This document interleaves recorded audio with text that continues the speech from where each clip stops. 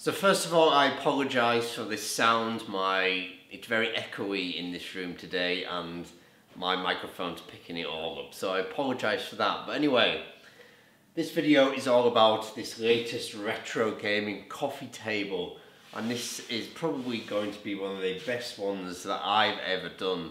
And yeah, it's a solid table, not like the MDF tables we've done in the past. And yeah, so we're gonna walk around this today.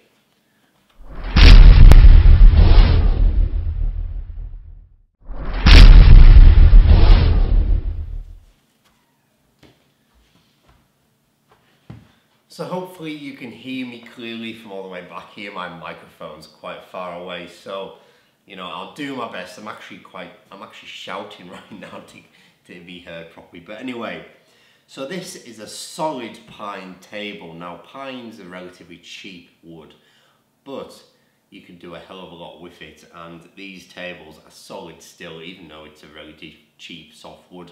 And these are very popular on Amazon, these particular tables. This is called a Corona furniture table. I think that's what it's referred to on Amazon at least, a Corona table. And there's a lot of different ranges, but this is the coffee table that that they sell. And yeah actually no sorry it's a Mercer Corona coffee table. That's the one. And these are very popular. Obviously they're very nice to look at. They're very, very pretty tables. And they make very ideal retro gaming coffee tables because A, they are cheap, B, it's made out of pine, so it's nice soft wood, easy to cut and easy to work with. And yeah, very good. So as you can see, it doesn't look an awful lot different. Obviously I've got the cutout in here in the middle and this display here is an IPS display. Now the reason I use an IPS display is because it provides very good viewing angles. Now the reason you want good viewing angles is because say you're playing just like I am now.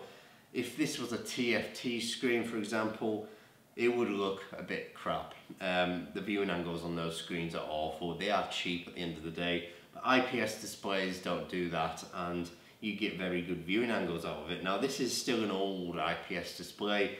It has the VGA port etc on it. But for what, it, for what it costs, and what it can do it's a great monitor for what you want it for. And it's very big as well it's a 22 inch screen and it fits just into this table just perfectly. Now the cutout here was made using a router saw and you could use a skill saw or if you if you can you can find yourself a local laser cutting company and you get this really perfect. But I've just got a router and there's a lot of knots in this wood so it did make cutting a little bit difficult. So it's not the perfect cut ever but you know it kind of keeps in with the the rest of the table. It's very rustic rough around the edges kind of thing. So it goes nicely with the rest of the table. And I've got no issues at all with it. And yeah so in its current state with the table top down I would refer to this as like kind of in, in arcade mode if you like and on the front here we've got a controller. It's actually built into the drawer and you've got your joystick etc. I'll get onto that in a second. But in this current state you'd use it for arcade games, you know, MAME, MAME ROMs etc. The second one, it's not quite finished yet, but on the front we'll have a USB input and that's on its way very soon. And I'll put that in and then you can use it like this. So you lift up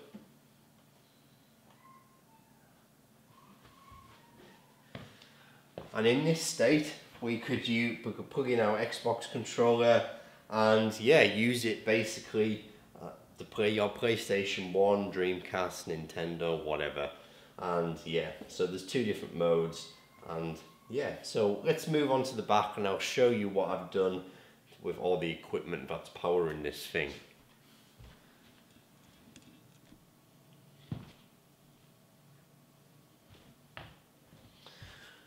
So in the actual coffee table itself, we have everything nicely, neatly aligned. Now, these pieces of wood here is actually the support bracket for the back of the screen. That took a lot of work, that did. That was a hell of a lot of work. And yeah, to get it strong enough to actually support this screen like it is, Yeah, that took some thinking because what I wanted to achieve was to install the screen so it could be removed easily in the future if the screen broke or something happened to it or you wanted to replace it for a better one. So that was a lot of work, not done that before, so yeah, we achieved that eventually. Normally I would have just, you know, heavily glued it in, etc. But you know, I wanted that more elegant, elegant solution to the problem. So anyway, we've done that. Now, as you can see, this is our rear controller, and we'll get onto that in a second. And we've got our speakers here. We've got our wiring routed nicely. It's nice and neat. You won't be able to see this on camera, but we've got our plastic back panel just here, and this protects the actual power input just on the back here, and we'll show you that in a second. Um, we've not finished a few things, there's still power supply still hanging down. Now this is powered by Raspberry Pi, so this Raspberry Pi is just going to sit on the side here and that's the Raspberry Pi Model 3B and it's more than powerful enough to what we want to do um, and it will run pretty much most games. RetroPie for example will you know do pretty much everything. We've got these very strong supports, we've got two of these, these are very expensive. These are, really expensive. But you know you can't really skimp when you want them to support all this weight especially when we've got our plastic panel on the top to finish it off. It's going to be a heavy thing. So you know these are very strong but very expensive as well um, so yeah that's pretty much the internals of it oh there's a lot of uh, there's a few things to do there's a few things to stick down but it's relatively finished and yeah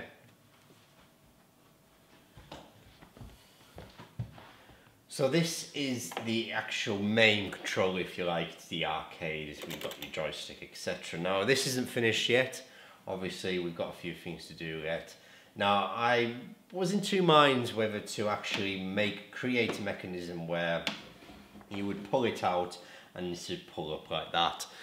But I'm I'm not convinced that's the best solution to be honest with you. I think that it does look it does actually look a little bit cramped. I mean, for my little hands, it's not too much of an issue. I'll be quite happy playing here. But if you've got bigger hands than me, then maybe you want this to be actually up like that. If that makes sense to you, you've got more space on the side here. Now, it's not here yet, but I've got some magnets coming, and the magnets will basically allow this to clip onto the top there, and then it'll hold this in place. Now, if I made a mechanism, which is relatively simple to do, to actually pull this out, and while you, when you're pulling it out, it pulls it up like that. If I did that, then it would kind of take away the two options that are, that I kind of available right now to whoever whoever buys this off me basically because this will be up for sale at some point. And it kind of takes that option away from them. Now this controller is using a obviously we've got our, our joystick here we've got our our buttons here we've got buttons on the front start and select etc now that's powered by a little board. Now the little board basically converts all these cables all these wires in here and it converts it into a USB and the USB just plugs into the Raspberry Pi.